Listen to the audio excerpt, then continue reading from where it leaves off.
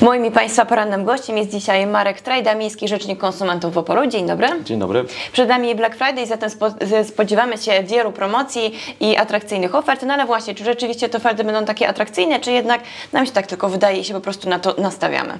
E, no, proszę Państwa, e, święta czuć, czuć w powietrzu. E, widzimy je już, możemy je zaobserwować praktycznie w każdym sklepie i stacjonarnym i w sieci, również na naszym opolskim pięknym e, E, oczywiście jest to czas, w którym konsumenci e, mają szansę nabyć produkty po bardzo atrakcyjnych cenach. Natomiast no, jest kilka kwestii, o których powinniśmy pamiętać, aby ustrzec się takich e, zakupów, których byśmy później żałowali. To znaczy, jakich zasad trzeba się trzymać, żeby nie dać się oszukać? E, Przede wszystkim, e, proszę Państwa, dokonując zakupów w sieci, bo na dzień dzisiejszy bardzo dużo produktów kupujemy w sieci, widzę to e, po sprawach, które do nas wpływają. E, Zawsze warto e, sprawdzić e, opinię na temat danej strony internetowej. Pamiętajmy, że zdarzają się strony internetowe, które są, proszę Państwa, polskojęzyczne i wszystko wskazuje na to, że kupujemy od sprzedawcy z Polski, ale tak naprawdę dokonujemy zakupu od sprzedawcy z drugiego końca świata, bądź niekiedy na takich stronach również nie znajdują się informacje odnośnie sprzedawcy. To już jest no, typowe takie sytuacje. Które możemy określić mianem oszustwa. No jak takie rzeczy sprawdzić? My po prostu mamy przeanalizować stronę, znaleźć dane kontaktowe? Proszę Państwa, no przykła- na przykładzie może wytłumaczę to, bo zgłosiła się do nas e, ostatnio mieszkanka Opola, która dokonała właśnie zakupu na prezent, e, kupiła rzecz e, na stronie, która była stroną polskojęzyczną. E, natomiast no, nie zapoznała się z regulaminem.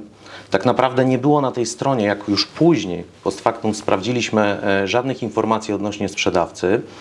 A jedyna forma płatności, jaka była dostępna dla e, konsumentów, to była płatność za pobraniem. E, Tutaj jest e, tego rodzaju sytuacja, że zawsze dokonując zakupu i płatności za pobraniem, mamy gdzieś z tyłu głowy takie przeświadczenie, że nikt nas nie jest w stanie oszukać, bo ten towar faktycznie do nas dotrze i wówczas za niego zapłacimy. Natomiast często zdarza się, jak również i w tym przypadku, że ten towar był zupełnie inny, był niezgodny z umową, była to zupełnie inna rzecz. I co wtedy? No i wtedy, proszę Państwa, te dochodzenie e, roszczeń, jeżeli mamy do czynienia e, ze sprzedawcą e, po drugiej stronie świata, może być naprawdę utrudnione. Dlatego e, zalecałbym rozważyć może płatność e, kartą przy zakupach internetowych. E, to może nas no, zabezpieczyć. A w jaki sposób właśnie może nas zabezpieczyć? Jaka jest różnica pomiędzy tymi rodzajami płatności? Już mówię, proszę Państwa, jeżeli mm, dokonujemy zakupu kartą, płacimy kartą za jakąś rzecz, którą kupujemy w sklepie internetowym, albo i nie. E, Wówczas, e, jeżeli transakcja nosi znamiona oszustwa albo towar jest niezgodny z umową, otrzymujemy rzecz, która jest e, podróbką, nazwijmy to tak, mamy szansę dochodzić swoich roszczeń właśnie w tej procedurze chargebacku, to jest obciążenie zwrotne.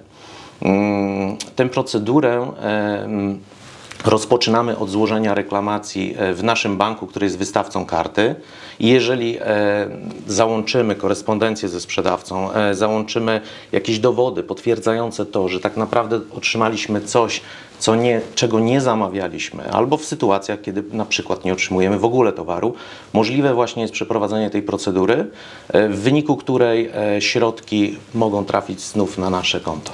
Na co jeszcze warto zwrócić uwagę e, właśnie w takim gorącym czasie zakupowym, jeżeli chcemy kupić komuś prezent, no czy kupić coś dla siebie, tak, skorzystać z jakiejś okazji. Wiemy, że od 1 stycznia obowiązuje dyrektora, dyrektywa Omnibus, tak, która nakazuje sprzedawcom wskazywanie cen, jak zmieniało się w ciągu ostatnich 30 dni, ale właśnie, czy sprzedawcy się do tego stosują, czy jednak wciąż możemy spotkać się z przypadkami, że tuż przed takimi dniami właśnie jak Black Friday te ceny są najpierw sztucznie pompowane. Nie, nie, stosują się, proszę Państwa, i możemy to zaobserwować i w sieci, i w sklepach internetowych, jak również e, w sklepach stacjonarnych. Bardzo często, jeżeli towar jest za każdym praktycznie razem, towar jest oferowany w promocji, w jakiejś wyprzedaży, znajduje się tam informacja o najniższej cenie tego towaru w ostatnich 30 dniach. I myślę, że te przepisy, ta zmiana tych przepisów na pewno będzie sprzyjać korzystnym zakupom dla nas w tym roku.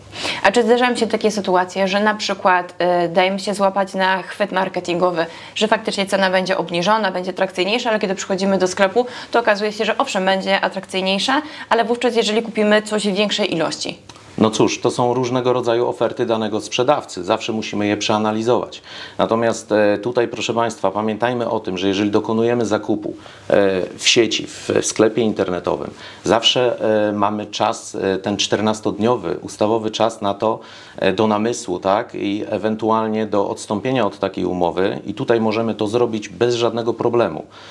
Więc no, Sprawdzajmy te promocje, porównujmy te ceny u różnych sprzedawców. E, w internecie znajdziemy również strony, które są e, porównywarkami takich cen, e, gdzie możemy znaleźć najkorzystniejszą ofertę. No myślę, że warto się rozglądać, aby ta okazja zawsze była taką najlepszą dla nas okazją. No właśnie, przypomnijmy zatem jeszcze te różnice, które występują w zakupach, które dokonujemy w internecie i które dokonuje, których dokonujemy w sklepie stacjonarnym. Jeżeli chodzi na przykład o zwroty ewentualne. Tak, to jest temat, który zawsze przewija się w naszym biurze e, przy okazji właśnie świąt. E, proszę Państwa, pamiętajmy o tym, że dokonując zakupu e, w sieci, w sklepie internetowym, zawsze jako konsumentom przysługuje nam czas na odstąpienie od takiej umowy. Mamy te 14 dni których możemy zadecydować o tym, że jednak rezygnujemy z zakupu i bez problemu wycofamy się z takiej transakcji. W większości przypadków. Oczywiście istnieją tutaj e, wyłączenia, tak? E, mam na myśli tutaj na przykład, jeżeli zamawiamy towar, który jest w jakiś sposób e, na nasze zamówienie typowo wytworzony, czyli na przykład garnitur na miarę albo bransoletka w prezencie z jakimś grawerem. W takich przypadkach nie będziemy mogli skorzystać z tego prawa do odstąpienia od umowy. E, ale w większości przypadków takie prawo e, jako konsumenci posiadamy. Mm, jeżeli chodzi o sklepy stacjonarne, pamiętajmy o tym, że przedsiębiorcy nie mają obowiązku przyjmować zwrotu e, towarów pełnowartościowych w żadnym czasie. To, co obserwujemy u danych przedsiębiorców, e, u poszczególnych przedsiębiorców, na przykład, nie wiem, e, w marketach budowlanych, gdzie możemy dokonać zwrotu towaru w dowolnym czasie, czy też w różnego rodzaju sklepach, gdzie te zwroty towaru możemy dokonać w terminie 30 dni, 14, 7, ale pamiętajmy o tym, że w sklepie stacjonarnym to jest tylko i wyłącznie dobra wola przedsiębiorcy, ten, ta możliwość dla nas zwrotu towaru. Dlatego zawsze warto, myślę, dopytać, czy będzie taka e, możliwość zwrotu towaru bądź jego wymiany. E, no w szczególności jeżeli dokonujemy zakupu e, z myślą o naszych bliskich, mam na myśli tutaj prezenty. E, czyli te tabliczki, które czasami można zauważyć w sklepach stacjonarnych gdzieś przy kasie, że prosimy o przemyślane zakupy, zwrotów nie przyjmujemy, nie są niezgodne z prawem. Nie, jak najbardziej. Po prostu tak naprawdę nie musi być takiej informacji. Nie ma przepisów powszechnie obowiązujących, które na dzień dzisiejszy zobowiązywałyby sprzedawcę, który sprzedaje nam towar w sklepie stacjonarnym do tego, aby przyjął ten towar od nas w jakimś określonym czasie. Na ile kupujemy emocjami? To znaczy, na ile dajemy się złapać na to, że jest Black Friday, więc musimy coś kupić, bo na pewno ominie nas jakaś okazja? No cóż, no na pewno to jest kwestia indywidualna, tak, ale każdy gdzieś z nas śledzi promocję. No warto zawsze te zakupy przemyśleć. Tak jak mówiłem wcześniej, jeżeli chodzi o zakupy w sieci, nie będzie tutaj problemu ze zwrotem towaru, jest ten czas do namysłu. Natomiast w sklepach stacjonarnych e, no, warto się zastanowić, bo niekiedy po prostu może nie być takiej możliwości zwrotu takiego towaru. A czy rzeczywiście w okresie wielkich promocji i szału zakupów e, Miejski Rzecznik Konsumentów ma więcej pracy, bo potem przychodzą mieszkańcy, którzy mają jakieś problemy, bo się okazuje, że zostali na przykład oszukani albo dokonali nieprzemyślanych zakupów? E, tak, oczywiście. Jest to taki okres, w którym zgłaszają się do nas klienci przede wszystkim w sprawach zwrotów, tak? I w sprawach no, dokonanych zakupów różnego rodzaju. Na przykład, tak jak mówiłem o tej sprawie w tym sklepie internetowym, gdzie ten towar, który otrzymała klientka był zupełnie inny niż ten, który zamawiała. A czy zdarzały się jakieś niestandardowe zakupy, niestandardowe, niestandardowe produkty zamówione na przykład, z którymi potem był problem?